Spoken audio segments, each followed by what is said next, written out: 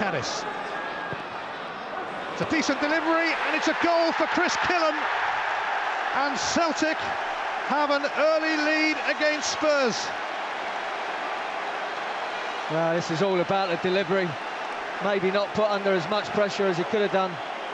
Caddis on the right-hand side. I think Ekotto's got to do more, get closer. Just allows him to get the cross in, but it's a good cross when it comes in. And Killen just gets nestled in between the two defenders.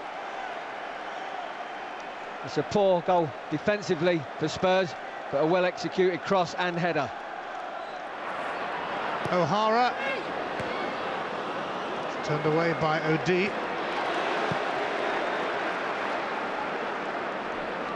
Samaras. Skipping away from Beat. Chris Killen is up there alongside him. Samaras may go for goal himself. Fabulous finish from Georgios Samaras.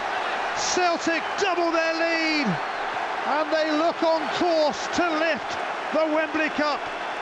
Well, I was just about to say that Tottenham have certainly had their situations and chances themselves, but he goes past the beat too easily.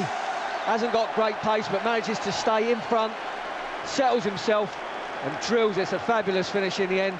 Good power in the strike. The angle slightly against him, but the power just beats Gomes, Gomes hands down.